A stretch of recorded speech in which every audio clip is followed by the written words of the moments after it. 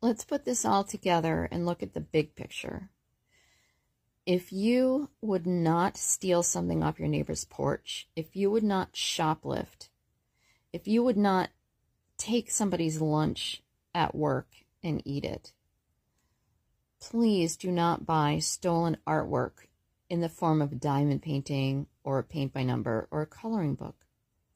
Because these unethical companies are making a lot of money with an artist's work and that artist is not getting paid.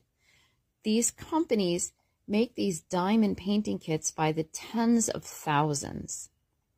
Can you imagine how much money that artist is not getting? Suppose this company sold 10,000 copies of a diamond painting and the artist is supposed to get 15% of every one, and they don't.